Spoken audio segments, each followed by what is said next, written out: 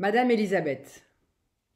Lettre d'Élisabeth de France à sa nièce Marie-Thérèse, le 5 avril 1794, écrite à la prison du Temple.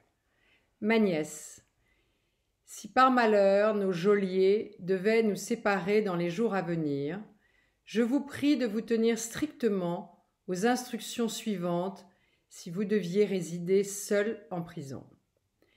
Conservez ma nièce de la nourriture dans le poêle au cas où les rations de nourriture diminueraient. Ne laissez jamais quiconque entrer sans que vous soyez totalement vêtu de votre robe ou de votre châle. Ne faites pas attendre vos gardiens pour ne pas exciter leur animosité contre vous. Dès que leurs pas se feront entendre, vous devez vous tenir prête à les recevoir. Faites de l'exercice, une heure par jour. Marchez, ployez sur vos jambes, tenez vos bras pliés, puis détendez-les. Balayez votre chambre chaque jour pour que la poussière n'abîme pas vos bronches. Faites, votre lit tous les matins pour ne plus jamais vous y allonger dans la journée. Restez assise sur une chaise, pas sur le lit. Lisez à haute voix. Dessinez la carte de la France sur le sol et mémorisez le royaume dont votre frère aura un jour la charge. Récitez les tables de multiplication et les fables de Monsieur de La Fontaine tous les jours, ainsi que les commandements de Dieu. Ne demandez jamais rien à personne et n'oubliez jamais ni votre rang ni votre sang. Confiez votre sort à Dieu et jamais aux hommes. À la lecture, il y a quelques années, de de cette lettre miraculeusement retrouvée, je me suis interrogée. Qui était vraiment cette femme, au demeurant princesse, capable de donner des conseils aussi précis que judicieux, comme si elle avait toujours vécu en prison? Je me suis alors penchée sur sa vie, sur sa personnalité, pour ne plus la quitter. Élisabeth voit le jour un matin de 1764 dans la demeure familiale. Lorsqu'on est né Bourbon, le château se nomme Versailles l'enfant ne va quasiment pas connaître ses parents. Son père, Louis Ferdinand, est le seul fils de Louis XV. Il décède de la phtisie quelques mois après sa naissance à Fontainebleau, où la cour réside chaque automne. Sa mère, Marie-Joseph de Saxe, s'est passionnément consacrée à son époux, chose rare à la cour, puis a succombé elle-même de la même maladie, laissant deux filles, Clotilde et Élisabeth, et trois fils, les futurs Louis XVI, Louis XVIII et Charles X. Élisabeth grandit, choyée par sa sœur, Clotilde, sa gouvernante, Madame de Marsan, sa sous-gouvernante, Madame de Macao. Dans cet immense palais, on s'extasie sur l'adorable princesse, mais on lui décèle un caractère très fort et presque capricieux. Une petite sauvageonne avec je ne sais quoi d'entier et de rebelle, écrira la comtesse d'Armaillet. Les années passent. La petite princesse, désormais nommée Madame Élisabeth, fait preuve d'une grande curiosité associée à une mémoire prodigieuse, talent qu'elle partage avec son frère le dauphin. Elle vit au château, chose inédite pour les enfants, et étudie sept heures par jour religion, histoire, géographie, latin, langue vivante, dessin, musique, sciences et mathématiques. Son frère le dauphin, à l'âge de 16 ans, épouse une princesse autrichienne, elle-même âgée de 14 ans, mais Élisabeth, du haut de ses 6 ans, n'est pas autorisée à participer aux somptueuses cérémonies. Dès son plus jeune âge, Élisabeth se passionne pour les plantes, tout comme son grand-père, Louis XV. Ce dernier a fait aménager en 1759 un immense jardin botanique autour du Grand Trianon pour étudier l'alimentation de ses sujets. Le roi croyait son ami le docteur Quesnay qui disait Bonne santé commence par bien manger. Quant à Louis XV, il écrit Acclimatez d'abord à petite échelle ce que la nature du monde entier nous offre puis la cultiver pour que nos paysans puissent l'exploiter dans tout le royaume. Notre blé étant de qualité médiocre, et entraînant cette horrible maladie des ardents, tournons-nous vers la pomme de terre de M. Parmentier ou le riz de l'Inde pour nos marais. Quant à nos bois, reboisons-les avec des pins de Russie. Dans son jardin botanique, ouvert aux savants, on recense 4000 espèces. Louis XV y fait expérimenter des plants venus du monde entier grâce à ses correspondants. Dès qu'il le peut, il parcourt le domaine ainsi que les serres chauffées qui font l'admiration des visiteurs étrangers. Des graines quittent Trianon pour le royaume de Suède. Des plants de tabac sont envoyés en Guyane et cultivés avec succès. Tandis que le riz, implanté dans les, canaux de, les canaux de Trianon, sont expédiés vers les marais de Cabargue selon les instructions fort précises que doivent suivre les intendants du royaume. Élisabeth a huit ans, le roi la convie à le suivre dans sa promenade quotidienne. Elle y sera accompagnée du docteur Lemeunier, médecin attitré à la santé du roi de France, mais aussi botaniste, herboriste et accessoirement amant de sa gouvernante, Madame de Marsan. Ce brillant savant, sans descendance, tombe sous le charme de cet enfant qui retient tout et pose mille questions fort judicieuses. Un autre homme fascine Élisabeth. Claude Richard, le jardinier capable de faire pousser des fraises en plein hiver. Désormais, elle supporte mieux sa vie d'orpheline, grâce à la présence aussi de la fille de Madame de Macao, Angélique, qui est autorisée à étudier avec elle, à loger au château et qui deviendra son amie la plus chère. Mais le temps de l'insouciance se termine bientôt pour Élisabeth. Le 18 mai 1774, Louis XV décède de, la variole.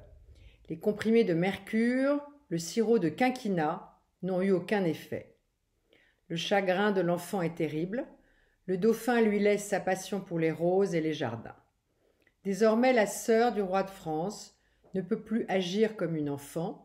Ses journées très longues sont ponctuées par les études et la messe.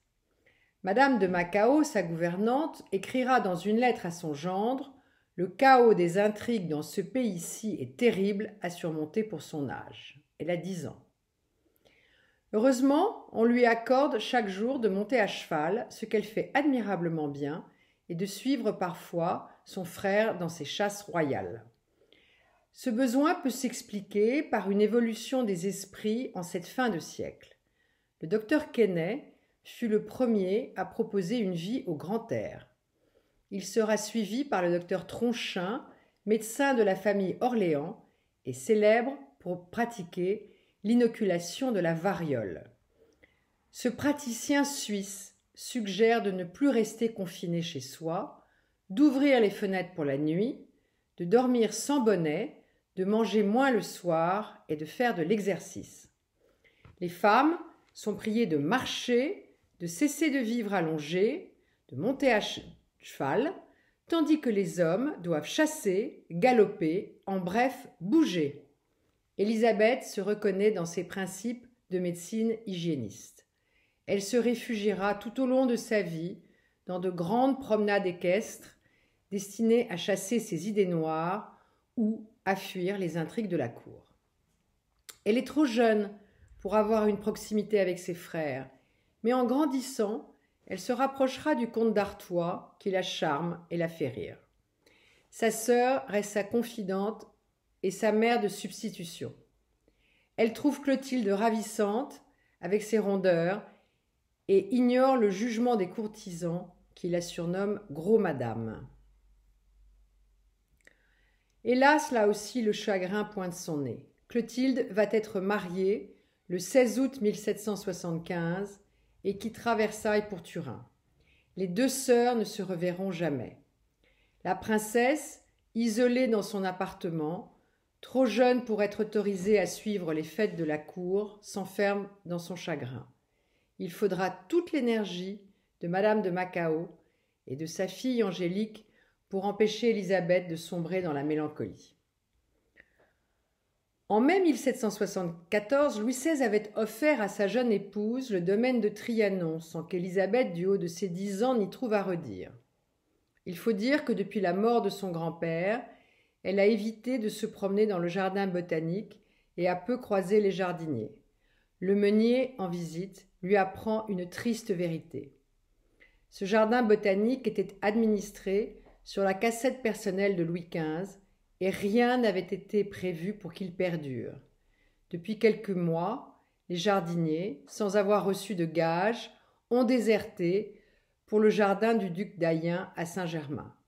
Les serres ont été laissées à l'abandon, les animaux de la ménagerie, le rhinocéros ou le bubal, attendent la mort. Pire, Madame Marie-Antoinette a demandé la création d'un jardin privé à l'anglaise avec des fabriques et des cours d'eau. Pour cela, il va falloir détruire les serres et les expérimentations horticoles, abattre les arbres et fermer le lieu aux savants et aux visiteurs. Désespérée, Élisabeth supplie son frère de revenir sur sa décision, mais elle échoue. Sa colère se tourne alors vers sa jeune belle-sœur, qu'elle juge écervelée et ignorante. Les jardiniers vont parvenir, pour certaines essences rares, à les déterrer et à les faire transporter par coche d'eau de Meudon à Paris, puis à les réimplanter au jardin du roi, aujourd'hui notre jardin des plantes. Mais l'expertise de Trianon, que tant de botanistes acclamaient, disparaît ainsi, au profit de la mode et des plaisirs personnels de la reine. Le botaniste Toin écrit Le jardin de Trianon a changé de forme.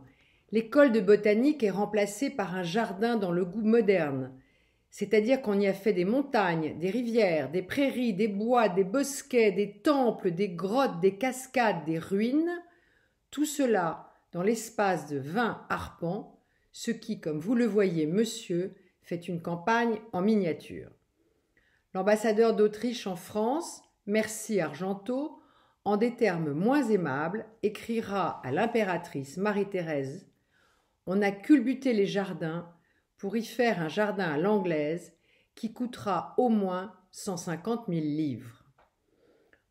Pour se comprendre, un apprenti jardinier gagne deux livres par jour. Alors qu'Élisabeth n'a que 14 ans, Louis XVI juge sa sœur suffisamment mature pour, je cite, la sortir de l'éducation et lui constituer sa maison. Désormais, elle a à disposition un aumônier ordinaire, un confesseur, une dame d'honneur, la comtesse Diane de Polignac, qu'elle n'appréciera pas. Celle-ci dirige le service de la chambre, de l'entretien physique de la princesse et de l'entretien domestique de son appartement. C'est elle qui passe commande au nom de la princesse. Puis une dame d'Atour, la marquise de Serran, en charge de la garde-robe, du linge, de l'argenterie, de la porcelaine. Puis quinze dames pour, je cite, accompagner, à raison de deux au moins par trimestre, dont la fameuse Angélique, devenue par son mariage la marquise de Bombelle.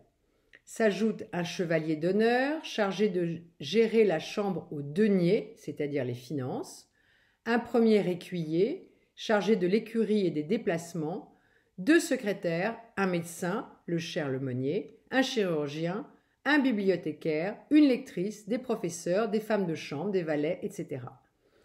Bref, Élisabeth n'est jamais seule, ni à Versailles, ni à Fontainebleau. Elle apprécie ce château, car le protocole y est allégé durant le séjour automnal. Tandis que la reine et ses amis jouent des pièces de théâtre, Élisabeth parcourt les bois et suit les chasses du roi. Là, elle rencontrera le collaborateur de l'aumônier, un jeune médecin botaniste en charge de replanter la forêt d'un bois de chauffe pour remplacer les chênes qui sont si lents à pousser. C'est ainsi que les premiers pins sylvestres seront plantés dans le massif de Fontainebleau, tout comme certains bouleaux venus de Russie. Le temps passe et la diplomatie française n'a toujours pas trouvé un prétendant pour la sœur du roi. En effet, aucun parti n'a été jugé digne de son rang. L'échec des négociations matrimoniales avec le Portugal puis l'Autriche la conforte dans l'idée qu'elle restera en France. Je cite je ne puis épouser que le fils d'un roi catholique, et le fils d'un roi doit régner sur les états de son père. Je ne serai plus française et je ne veux pas cesser de l'être. Un projet avec le frère de Marie-Antoinette, l'empereur Joseph, déjà veuf deux fois, échoue.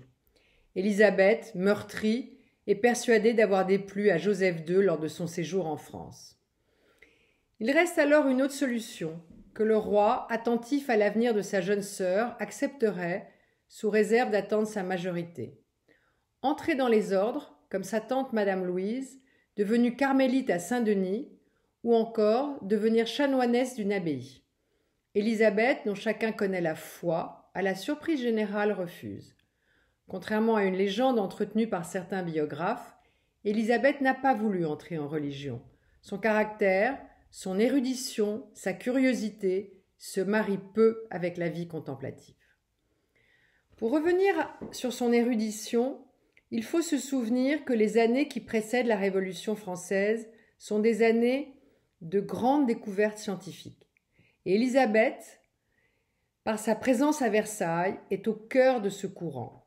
Citons quelques exemples. En médecine, la maladie n'est plus une décision de Dieu. Aussi, on tente de soigner, d'opérer et donc de guérir. On abandonne les saignées et les purges au profit d'une chirurgie, d'une médecine hygiéniste développée par le docteur Tronchin, médecin de la famille d'Orléans, et premier à avoir inoculé en France avec succès contre la variole. Louis XVI d'ailleurs fera inoculer ses enfants pour donner l'exemple, et ce, contre l'avis de son médecin Lassonne, qui jugeait le dauphin trop fragile. L'avenir, hélas, lui donnera raison. En science, on découvre le courant électrique, l'oxygène, on invente le paratonnerre, on vole dans les airs, avec la première expérience de montgolfière faite à Versailles même. Elisabeth se passionne pour toutes ces nouveautés et lit toutes les correspondances des académies de sciences. C'est avec M. Mauduit qu'elle passe des heures à étudier les mathématiques. Elle dévore ses livres au titre impossible comme, je cite, les principes d'astronomie sphérique ou traité complet de trigonométrie sphérique dans laquelle on a réuni les solutions numériques et géométriques et analytiques de tous les problèmes qui ont rapport à la résolution des triangles sphériques quelconques avec une théorie des différences des mêmes triangles. On comprend mieux que sa dame d'honneur, la comtesse Diane de Polignac, ait fui la leçon. Élisabeth s'acharne sur les mathématiques pour faire des concours de table de logarithmes avec Louis XVI et participe même à l'édition de la table de François Calais, dont je cite le titre Table portative de logarithmes contenant les logarithmes de 1 jusqu'à 108 000, précédé d'un discours sur l'explication d'usage et sur leur application à l'astronomie, à la navigation et à la géométrie pratique. À la même époque, Louis XVI participe activement à la conception de la rade artificielle du port de Cherbourg. Son engouement pour les sciences et plus particulièrement pour l'ingénierie maritime lui offrira un unique voyage dans son royaume à Cherbourg pour suivre l'avancement des travaux. Et enfin, que dire de l'expédition de M. de Lapérouse lancée sous l'impulsion du roi La science est donc omniprésente à Versailles en cette fin de siècle. Et cet intérêt pour le progrès qui fait qu'Élisabeth ne veut pas fait qu'Élisabeth ne veut pas s'enfermer dans une seule voie, la religion. Elle peut être extrêmement croyante, et l'avenir le prouvera, et ne pas devenir religieuse. Pour oublier ses désillusions personnelles, elle se réfugie dans l'équitation, galope dans la forêt de Marly avec son écuyer le comte d'Adémar comme unique compagnon. Elle est intrépide à cheval et refuse de monter en Amazone. Mais il lui faut ensuite vite se changer, se serrer dans une robe de cour au tissu contraignant, se rendre au grand lever de la reine, puis traverser avec la famille au complet les grands appartements, en saluant gracieusement les courtisans et assister à la messe. De retour chez elle, elle fait dégrafer sa robe avant de se jeter sur son repas avec ses dames, l'appétit aiguisé par une trop longue matinée. Élisabeth, il faut le reconnaître, a souvent faim et se bat contre l'embonpoint, un travers familial. En 1782, Élisabeth, avec toute la cour à l'agonie, pardon, avec toute la cour, assiste à l'agonie de sa tante, la princesse Sophie, une des filles de Louis XV. Atteinte de phtisie, elle étouffera durant des heures avant de s'éteindre. Cette mort entraîne chez la jeune fille une remise en question et elle jugera sa vie futile. Elle décide désormais de ne se consacrer qu'à l'étude et à la religion. Cette nouvelle attitude lui donne une réputation de princesse peu aimable et pieuse, ce qu'elle voulait atteindre. Désormais, seules ces dames d'Atour et ses professeurs seront bien accueillis chez elle. Elle sort facilement du château. Contrairement à Marie-Antoinette, elle observe, elle constate. Le peuple est pauvre. Les conditions climatiques en cette fin de siècle ont été terribles. On estime à 2 millions de personnes mortes de froid au XVIIIe siècle. En 1783, durant l'hiver, il a fait moins 23 degrés. Les femmes l'approchent pour lui demander de l'aide, elle les écoute, trouve toujours un mot de réconfort et trop souvent laisse une aumône qui ne satisfait ni le quémandeur ni la donatrice. Elle veut agir, créer une institution pour les plus démunis de la ville. Son frère l'écoute, soupire, promet d'améliorer le sort de ses sujets, mais les finances, malgré des multiples projets de réforme, sont en perdition. Ses tantes, mesdames Adélaïde et Victoire, deux des dix filles de Louis XV, demeurées au château, lui rappellent que la prière est le meilleur remède, car l'homme n'est pas sur terre pour être heureux. Élisabeth enrage, ne supportant pas l'injustice. Comment aider par des gestes concrets et non par la charité. S'il n'était pas une femme et la sœur du roi, elle serait médecin, écrit-elle à son amie Angélique. Celle-ci l'exhorte à créer une école de médecine pour les femmes, mais Élisabeth se moque de sa naïveté. Je cite Oublie tes illusions, les femmes sont réduites à des tâches subalternes, lui rappelle-t-elle, avec ce ton parfois direct et brutal dont elle use dans sa correspondance. En juillet 1780, Louis XVI demande à l'inspecteur des bâtiments de dresser un état des appartements du premier étage de l'aile des princes. Deux semaines plus tard, le roi impose sa décision. Le logement de Monsieur le Duc et Madame la Duchesse de Chartres, attribué à Madame Élisabeth et à la Comtesse Diane.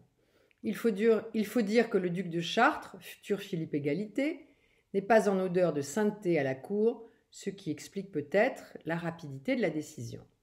Les travaux se déroulent de août à novembre pendant les séjours de la cour à Compiègne et à Fontainebleau. Les boiseries, les sols, les plafonds sont entièrement démontés pour notamment créer les entresols.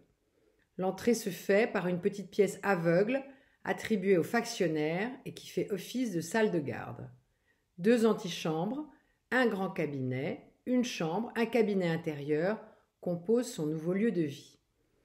Accessible par un escalier à colimaçon, une bibliothèque et une petite salle de billard permettent à Elisabeth de se réfugier dans la lecture, l'étude et le jeu de billard à la fureur de ses tantes qui considèrent indécent qu'une jeune princesse s'adonne à cette pratique. Si la cour se passionne pour les jeux de cartes, et certains y perdent des fortunes, Élisabeth s'y refuse. Elle désapprouve les pertes d'argent astronomiques des courtisans, désireux de suivre la reine dans son besoin de s'amuser. Mais c'est grâce à la perte au jeu et au train de vie dispensieux d'une puissante famille, les Guéménés, présente à la cour, qu'Élisabeth va connaître un grand bonheur. Au printemps 1783, elle reçoit en cadeau de son frère le domaine de Montreuil, tout proche du château de Versailles. Il vient de le racheter à l'ancienne gouvernante des enfants de France, la princesse de Guéménée, à la suite de la faillite de son époux. La somme de 200 000 livres pour l'acquisition de Montreuil aussitôt circule parmi les courtisans. Madame Élisabeth va y passer les six années les plus heureuses de sa vie. Elle, elle connaît déjà la maison, une longue habitation sur deux étages et se délecte dans des pièces ravissantes, meublées avec la simplicité voulue pour une maison de campagne.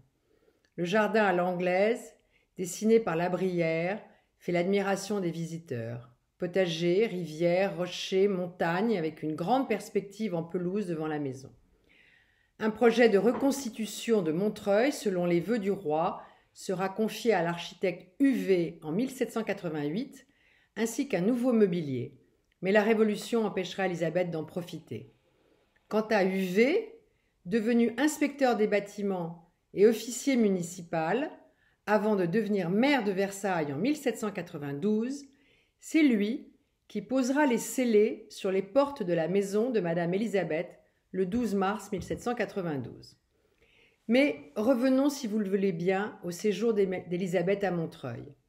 Elle connaît enfin le bonheur de recevoir, loin de la cour, ses amis ou ceux qui lui permettent d'accéder au savoir. Elle est d'une nature gaie et dans ce domaine elle le montre. Dans une de ses lettres, elle écrit, je cite, La joie est une des plus irrésistibles puissances du monde. Elle apaise, elle désarme, elle conquiert. Ne vous affligez jamais, car la joie en Dieu est une force. Son ami le meunier vit dans une maison toute proche, offerte par Madame de Marsan, construite par Ardouin Mansart, qui existe toujours à Montreuil, sous le nom de la Maison des musiciens italiens. Son parc devient un lieu réputé pour la botanique et ses pépinières. On peut encore y admirer un cèdre du Liban planté par le bon docteur. Enfin, Dotée d'une âme plus que généreuse, la dame de Montreuil ouvre un dispensaire avec le meunier et accueille chaque matin les plus démunis. Lors de l'hiver glacial de 1784, elle n'hésitera pas à loger dans son orangerie les plus pauvres, au désespoir de ses gardes, du jardinier et des orangers mis dehors. Louis XVI, en lui offrant Montreuil, avait imposé une restriction. Avant ses 25 ans, Élisabeth ne pouvait y dormir et devait chaque soir retourner au château. Sa sœur se doit d'être vertueuse, populaire et charitable, à l'inverse de sa femme, dont l'impopularité est à son comble avec l'affaire du collier de 1785. Si Marie-Antoinette ne peut plus quitter Versailles sans être conspuée, Élisabeth la remplace et répond à toutes les demandes de visite, comme la précédente reine, la pieuse Marie Lesinska.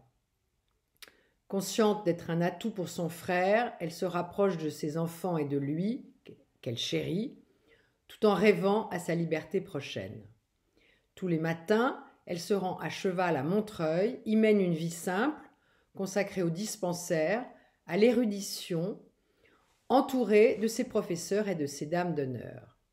Elle écrira je cite, L'amitié est une seconde vie qui nous soutient en ce bas monde. Mais là encore, le destin va jouer avec elle. Le 3 mai 1789, le jour de ses 25 ans, nous sommes à l'avant-veille des États généraux. Versailles est en ébullition. Il faut accueillir 1200 participants. Toutes les maisons particulières ont été réquisitionnées pour loger les provinciaux. Toutes sauf Montreuil. Mais Louis XVI, incapable d'assurer la sécurité de sa sœur en dehors des grilles du château, lui ordonne de rentrer dormir dans son appartement le jour de ses vingt-cinq ans et les suivants. Elle ne dormira jamais à Montreuil. Un malheur arrivant rarement seul, Élisabeth va maintenant devoir affronter la mort et quoi de pire que la mort d'un enfant. Le dauphin Louis-Joseph, deuxième enfant du roi et de la reine, décède à huit ans au château de Meudon le 4 juin 1789. L'enfant de constitution fragile y séjournait depuis des mois dans l'espoir qu'un air différent puisse lui être meilleur. Il serait décédé de tuberculose osseuse dans des souffrances terribles, qu'Élisabeth accompagne en se rendant régulièrement à son chevet très proche de ses neveux, cette fin terrible, bien que prévisible, la plonge dans, le désespoir. Mais elle lui confie, confie à Dieu son neveu, convaincu qu'il faut obéir à la volonté divine. Tout comme Louis XVI, et Marie-Antoinette, il lui faut surmonter sa peine et assister aux cérémonies qui entourent l'ouverture des États généraux. Elle comprend le besoin de réforme et, comme son frère, espère que les États généraux seront une solution pour sortir de la crise. Louis XVI confie à Élisabeth, dont, voici un portrait d'elle en femme plus mûre, je cite Ma sœur, je ne peux redouter cette assemblée. Tout ce qu'elle me proposera d'utile pour la France, je suis prêt à l'accepter. Dès lors, les événements vont s'enchaîner. La prise de la Bastille affole la cour et Versailles se vide de courtisans terrifiés. Si Élisabeth voit d'un bon œil la famille Polignac disparaître, il n'en est pas de même pour son frère Artois, qu'elle chérit. Certes, elle est horrifiée d'apprendre que Louis XVI a dû régler 20 millions de livres de dettes accumulées par son frère, mais son départ est un nouveau chagrin pour elle. Élisabeth vient d'avoir 25 ans. Elle pourrait le suivre dans son exil, mais elle s'y refuse. Elle est d'une loyauté sans faille pour son frère et pour sa belle-sœur, Marie-Antoinette, qu'elle a pourtant si souvent critiquée. Désormais, elle va se consacrer à redonner de l'autorité au statut de roi. Elle écrit au début des événements, je cite, Les députés victimes de leur passion ou de leur faiblesse court à leur ruine, à celle du trône et de tout le royaume. Si dans ce moment le roi n'a pas la sévérité nécessaire, tout est perdu. Et cette sévérité, Élisabeth l'a. Lors des journées d'octobre, elle supplie son frère de fuir à Rambouillet où se trouvent des troupes, comme le propose le ministre Saint-Prix. Mais elle devra se résoudre à suivre son frère aux Tuileries et à quitter son cher Montreuil. Aux Tuileries, à Paris, elle lit tous les journaux et les pamphlets et se passionne pour la politique, tout en se désolant de l'attitude conciliante de son frère. Le 4 février 1790, le roi vient à l'Assemblée et prône l'union nationale. Élisabeth écrit, je cite, Je suis désolée de la dernière démarche du roi. Cela le met à la tête de la Révolution et lui ôte le peu de couronne qu'il a sur la tête. Elle supplie son frère de ne pas signer le décret du serment civique imposé aux prêtres, ce qu'il se résignera pourtant à faire le 26 décembre 1790. Durant toute cette période de la Révolution, que vous connaissez tous, elle ne lâche pas sa famille. Elle refuse de partir avec ses tantes qui quittent la France le 20 février 1791. Artois est loin et Provence le futur Louis XVIII, tenu au courant du projet de fuite du roi la veille seulement, réussira, lui, son évasion. Elle n'a pas été mise au courant des projets de fuite par Marie-Antoinette, mais elle suit, sans discuter, dans la nuit du 20 juin. De retour dans la fameuse berline, voici ce que leur est dit au député Barnave venu les ramener de force à Paris. Je cite Égaré par un amour excessif de la liberté, vous n'avez calculé que ses avantages, sans penser au désordre qui pouvait l'accompagner. Vos premiers succès vous ont enivré, vous avez oublié que le bien s'opère lentement. Mais la voilà à Paris, où elle peut lire sur les murs ce charmant mot d'accueil La famille de cochons est remise à l'étable. C'est en vaillant petit soldat, en guerre, qu'elle affronte les révolutionnaires lors des émeutes de juin puis d'août 1792, sans jamais manifester la moindre émotion ou larme.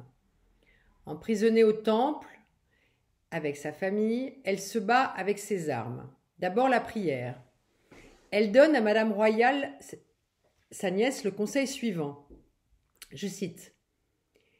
Essayez de vous imaginer dans ce lieu par la volonté de Dieu, et acceptez de lui obéir. Ainsi, vous n'obéirez plus aux municipaux, mais à notre Seigneur, et accepterez plus facilement votre sort. C'est la volonté de Dieu. Autre arme, elle espionne. Elle se montre redoutable, comme si elle avait fait cela toute sa vie et pris des leçons auprès de M. de Beaumarchais. Elle est prête à tout pour obtenir des informations ou amadouer les gardiens. Elle crée un code en prison pour communiquer avec son frère. Main gauche, les décisions de la Convention. Main droite, les progrès de la guerre. Elle rédige à l'encre sympathique des billets qu'un valet en charge de l'approvisionnement réussit à faire passer à l'extérieur. Et la réponse revient dans des carafes fermées par des bouchons de papier. Lorsque le papier sera confisqué, elle imaginera de tracer des billets en grattant avec son aiguille à broder.